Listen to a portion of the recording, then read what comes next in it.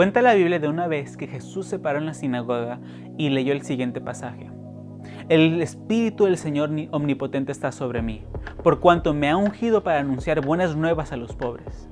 Me ha enviado a sanar a los corazones heridos, a proclamar liberación a los cautivos y libertad a los prisioneros, a pregonar el año del favor del Señor.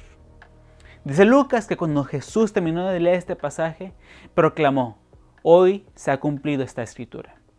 Este texto que había leído Jesús vino de Isaías 61, un capítulo donde el profeta describe la misión del siervo, la figura mesiánica del libro que representa a Jesucristo.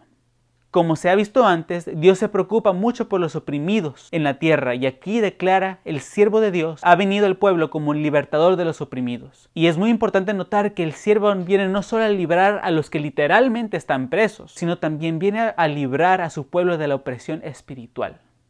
Otra cosa que hace este pasaje es que prefigura la restauración que Cristo hizo cuando murió en la cruz. Antes de la muerte de Cristo, la humanidad ante Dios estaba irreparablemente separada. Pero gracias al sacrificio de Cristo, hemos sido restaurados ante Dios y podemos disfrutar de las riquezas que nos ofrece el título de ser hijos de Dios. Esta es la promesa de este capítulo, que aunque tú y yo no merecemos nada bueno, Dios nos dará una corona, nos arropará y nos dará muchas riquezas si acudimos a Él.